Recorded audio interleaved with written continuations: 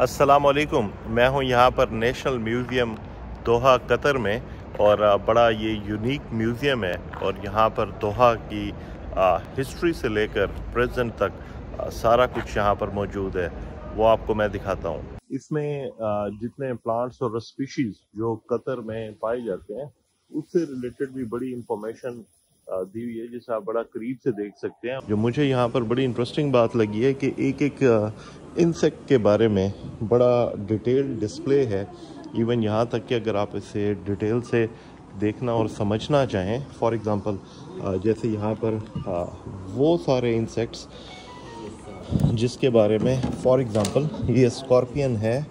आप इसको लें जी इसके ऊपर या आप स्कॉर्पियन को देखें और उसके साथ साथ ये आपको उसकी आ, सारी जो अरेबियन उसके नाम हैं इंग्लिश हैं और एज अ स्पीशीज़ जो साइंटिफिक यूज़ होता है अच्छा और इस म्यूज़ियम में इसके बिल्कुल साथ यहाँ पर ये एक इंडोनेशियन कबीले का यहाँ पर डिस्प्ले लगा हुआ है और ये कॉफ़ी की हार्वेस्टिंग के हवाले से यहाँ पर ये सेलिब्रेशंस हैं। इसमें इनके कॉस्ट्यूम भी हैं। ये इंडोनेशिया का मैं आपको मैप दिखा रहा हूँ। इसके अलावा जब ये प्लांटेशन होती थी, वो सारा प्रोसेस उसके साथ कलेक्शन कलेक्शन के बाद जब वो हार्वेस्टिंग का टाइम आता था तो ये सारे के सारे लोग सेलिब्रेशंस करते थे, मुख्तलिफ़ मास्क यूज़ होते थे।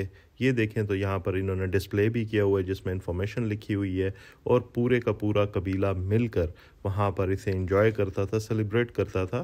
क्योंकि प्लांटेशन से लेकर आगे, जब वो उसको कलेक्ट करते थे, वो सारे के सारे इकट्ठे होते थे तो उसको वो इंजॉय भी इकट्ठा करते थे। बिल्कुल उसी तरह, जैसे हमारे यहाँ बैसाखी के मेले होते हैं और मुख्तलिफ़ त्यौहार होते हैं। ये देखें, ये बेसिकली गल्फ़ का मैप है जिसमें मुख्तलिफ़ अरब ममालिक हैं और इसमें जो कतर की लोकेशन है कि यहाँ पर डेजर्ट्स थे कैमल्स थे और उनकी लाइफ मोस्टली इन्हीं चीज़ों के इर्द गिर्द रिवॉल्व करती थी। तो उसी के साथ साथ कैमल्स के ऊपर उनकी मूवमेंट सारी जब एक जगह से दूसरी जगह जाते, उसके ऊपर जैसे सेडल्स हैं, जिनके ऊपर वो बैठते हैं क्योंकि ये लकड़ी के बने होते थे और उसके अलावा उसके ऊपर ये कपड़ा भी लगा होता था तो वो भी सारे के सारे डिस्प्ले हुए हैं। ये तब भी ऐसे थे जैसे अभी आपको इसमें नज़र आ रहे हैं। और ये आज भी ऐसे हैं, जो लोग कैमल्स यूज़ करते हैं, वो अब भी इन्हीं चीज़ों को इस्तेमाल करते हैं और ये साथ साथ ये कि कैमल पे बैठने के अलावा घर में भी ये एज अ होम फर्नीचर भी यूज़ होता था।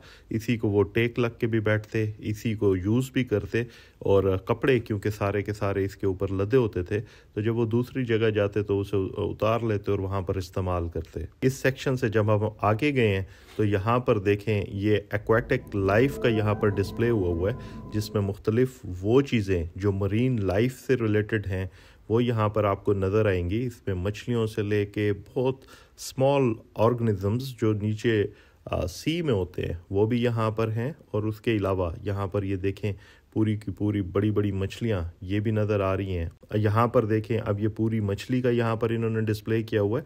उसके अलावा वो तमाम चीज़ें, वो जो आपको एक्वाटिक लाइफ में नज़र आती हैं, समुंदर में, समुंदर की आवाज़, उसके साथ शोर, हवाएँ, वो सारी की सारी यहाँ पर फील क्रिएट करने के लिए इन्होंने यहाँ पर स्पीकर्स भी लगाए हुए हैं। और ज़ाहिर है एसी के थ्रू वो सारी की सारी आपको हवा भी फील होती है। और यहाँ पर कतर म्यूज़ियम में देखने का बहुत कुछ है। आप आते हैं तो दो तीन घंटे निकाल कर आए ताकि यहाँ पर आप इसे इंजॉय भी करें, समझें, सीखें और लर्निंग भी हो। उम्मीद है ये आज की वीडियो आपको अच्छी लगी होगी। अगर आपको अच्छी लगी और इंटरेस्टिंग लगी है तो इसे ज़रूर शेयर कर दें। Thank you for watching